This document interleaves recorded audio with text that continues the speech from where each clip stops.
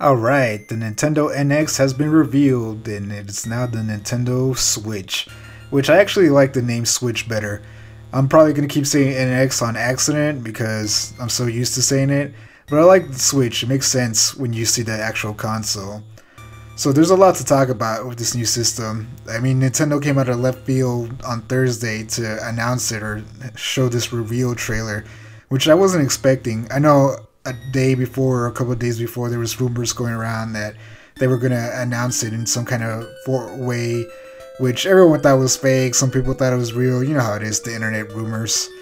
So like i said it really came out of left field. I wasn't expecting it. I was not at home when it happened. So i was kind of annoyed by that. I kind of wish they gave us a warning like hey we're gonna have a big announcement or we're gonna show this trailer uh, revealing the nx or the switch on this day, but you know, like not even 24 hours before they say, hey, tomorrow big reveal trailer for the Switch. So that kind of annoyed me. Um, I'm glad they revealed it though, because there's been a lot of speculation of what this new system is, and it's kind of been making people angry. I know I've been frustrated over it. I mean, come on, Nintendo. What took you so long? If you were just gonna show a dumb little trailer like this that doesn't really give us much information, why not do it earlier in the year? You know, why not E3? Maybe they weren't that far along, but still, it's almost the end of October. You know, it's almost the end of the year, and we're just getting this, and the system comes out in March, which is something they said before, but this trailer also, you know, solidified that that hey, that Switch is coming out in March, which I'm happy. That's fairly soon. I would have liked to get it in December, but as long as they take their time to make a good system. So, like a lot of the rumors, this is some kind of hybrid system where it's a home console, but also a console, a mobile console. You know, I'm pretty sure at this point you everyone's seen the trailer. It has like over 10 million views. So if you're a gamer or a fan of Nintendo, of course you've seen it. So I'm not gonna talk too much of the details, but it looks pretty cool. I like the idea you know, I I'm I'm a gaming person. Like I Nintendo's my favorite company for video games because they've been so along or uh, around so long, and I love a little a lot of their IPs. But I also have a PlayStation 4 in my bedroom and an Xbox One in my living room, and I probably play them a lot more than my Wii U. Well, actually, I do play them more than my Wii U. And but my favorite gaming system is the 3DS. It's the thing I play the most. So uh, I'm really excited for this system because when it, I, I like the Wii U, it was a good idea, but it was a bad execution, I believe. So this is a nice evolution step up where you can sit in your living room and play your games, you know, your console games, and then you can just pick it up and go wherever you want and play it. There's there's plenty of times where I'm playing in the living room on my Wii U, and I can't just I can't up and leave like oh, I want to go lay down in my bedroom and play the game. I can't do that. Either I, I you know disconnect the system and bring it into my room and I can play there, or I'm stuck in the living room. And another issue with the gamepad is that yeah, you can watch or play the game on the gamepad, but mostly it was used as a you know second function. You know, in Splatoon, you couldn't take the gamepad anywhere; you had to play there, so you had to have the TV on. And then in other games, it's usually used for maps or quick item lists. So, I mean, Wii U was cool, but this is a nice evolution to it. Uh, I'm really excited for it. They showed off a lot of, or a few new games, I should say, like a new Mario Brothers game, the Mario Brothers Switch, I'm guessing it's going to be called, which looks interesting. Uh, a new, or a port of Splatoon and Mario Kart 8, it seems like, which is pretty cool. I, I have a feeling we're going to get a few ports. Uh, I'm pretty sure Nintendo hasn't worked on a lot of new uh, games for this system. Like, even The Legend of Zelda, The Breath of the Wild, one of their main games they've been showcasing, is essentially a port because it, it was meant to come out in the Wii U like what last year. So it's a port. So this system's probably gonna have a little, a lot of ports on launch day, which I'm okay with. I mean, I'm pretty sure I'm gonna own most of these games on the Wii U already, but an updated cool port is okay with me. Like Splatoon with more features, yeah, I'm all for it. Bring it on you know, I'm pretty sure they're gonna have a, a port of Smash Bros. As long as they have new characters in there, you know, two, three, four, whatever, however many. Well, I would prefer at least three. I'm all about it. You know, an updated game with updated, hopefully updated graphics, you know, more characters is that's awesome. You know, because I, I know a lot of people with the Smash Bros. Wii U and uh, 3DS, they were happy, which I'm happy. It has a ton of characters, a bunch of third-party characters, but it's still missing a lot of characters. You know, I know a lot of people want Ice Climbers, so if they make a port of it and they put Ice Climbers in it, I'm sold. I'm gonna buy that game again. You know, I'm a Smash Bros. fan, so if they release a game with just two new characters, I'm all about it because I'm gonna want to use those characters, even if I just use them once. So the NX looks real cool. We we have a little bit of information.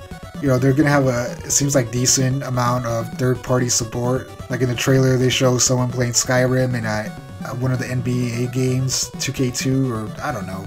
I don't play those games, so I don't know. But some NBA game.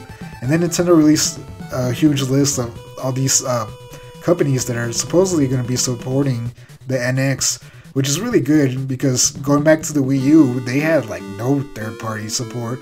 So it's a really good thing and a really good feeling to see the company get this third party support. And it seems like a lot of game developers are really on board with the system because it's not like the Wii U where you have to design the game and then you have to make something for the gamepad, which is the next a lot of extra time. It's like you just make the game and you know a normal game, just like if you're making it on the Xbox or PlayStation 4, which is really cool. And so that's one of the good things that are it has me excited. I still have a ton of questions. You know, is the quality of the game going to go down when you're mobile? You know, if I'm playing on the go, is it going to have the same frame, frame rate as it does on the TV? You know, is the wireless connection going to be good? You know, all sorts of questions. You know, how, how's the battery life? How, the, you know, what kind of memory does the system require?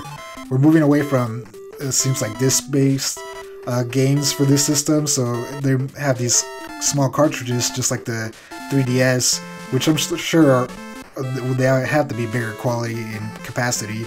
So they're going to be good games, which is good. So we're not gonna have to download a lot, I'm sure, or have keep a lot of memory or have a lot of mem- needed a lot of memory for the systems like the PlayStation or the Xbox, which is good. But it doesn't. Uh, at least that's what I'm assuming. You know, we could st- it could still have downloads. You know, maybe DLC is still huge. So there's a lot of questions out there that I have for this system. I'm optimistically excited.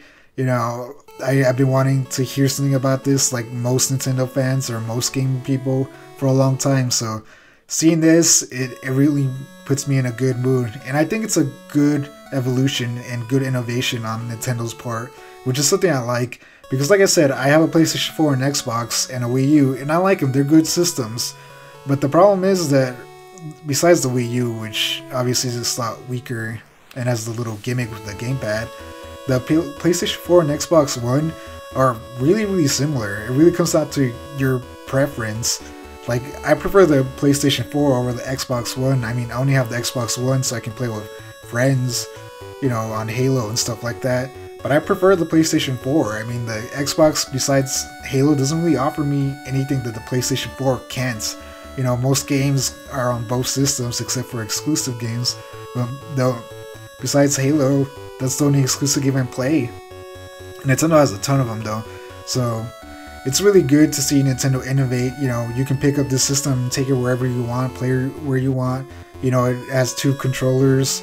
You know, you can take it to a friend's house and just play there. So it, it seems like a good idea. I hope it innovates the gaming industry and like the Wii U or the Wii. The Wii really innovated this the gaming world at least for a short time you know, people when it first came out, I was like, no, this system's gonna be bad. You know, motion controls, that's kind of lame. I just want to hold the control. But it came out and it was a really good system and it was fun. And it caused a lot of the gaming companies, like all of a sudden Xbox and PlayStation, were working on their own motion controls because the Wii U did so well. So I'm hoping this, you know, makes the PlayStation and the Xbox do something different. You know, be inventive, be creative. The you know console gaming, it's almost at a peak you like I said, it feels stagnant. The PlayStation and Xbox, yeah, better graphics, more powerful system, but you can get a PC for that. So I'm not too worried about a more powerful system or anything. I want to see some innovation. I want to see something different, which I feel the Nintendo Switch is doing. So I'm really excited and happy for it. I can't wait to see what third-party games come out for it. I can't wait to see if Nintendo makes new IPs or, you know, makes new games for the IPs. Hey, maybe they have a, a Metroid game in the wings, F Zero, you know, Kid Icarus. Like I said, they're probably gonna have a Smash Bros. obviously a Mario Legend of Zelda. So, you know, there's been talk of uh, console uh, Pokemon games. So who knows what this system's gonna have? And it's gonna. I think it's gonna be fun. It's gonna be great. I, I think it's a, a good idea. At least it's nice innovation. You know, you might prefer the other systems, but it's good to see something different. Like I said, it could have just been another big, powerful system that didn't really offer much, but they did something different, and I like that. I like seeing that. You know, and I think it's the way we're going. A lot of people are saying that you know cell phones and mobile games are gonna you know destroy the console world, which I don't think that's true. I think we're gonna they're gonna meet somewhere in the middle, because you know for the most part, cell phone games are for casual players. Not necessarily. I know hardcore gamers also play them, but like me, I don't play cell phone games. I, I don't like them. I'm a either a console gamer or I'm playing on my handheld. I don't play cell phone games. I don't like those freemium games. I like more more in my game. You know, I don't like to feel like I have to pay to advance or wait a few days to advance. It's just, it's just not something I like. So I feel like Nintendo's meeting that middle ground where it's like, hey, you can play your console games on the go, and I'm pretty sure you're gonna be also be able to download cell phone games or whatnot on it. And you know, maybe down the line they're gonna phase out the 3DS and it's gonna become part of that console. And it's probably gonna do a lot, lot more, but we didn't get a lot of information. And supposedly they're not gonna talk about the specs or anything until next year or announce any games until next year. Which again, why show this trailer if you're not gonna talk about it anytime soon? You know, have a conference next month or you know, do something, Nintendo. Like I'm, I'm excited. You know, keep the ball rolling. Just keep it rolling. So, I mean, that's it. Those are my thoughts and my hopes for this system. It's, I think it's really interesting. I'm on board with it. You know, I'm definitely gonna reserve it when I have the chance, and I'm gonna buy it. Probably buy a bunch of the games when it comes out. You know, so I'm I'm excited. I've been haven't been excited for Nintendo in a while, besides Pokemon Sun and Moon. So I'm happy to see this. All right, that's it. If you like this uh, like, subscribe, and leave a comment. Like, what are your thoughts on the Nintendo Switch? Hate it? Love it? You know, you're still a PlayStation person, Xbox, screw Nintendo? Whatever your thoughts are, let me know.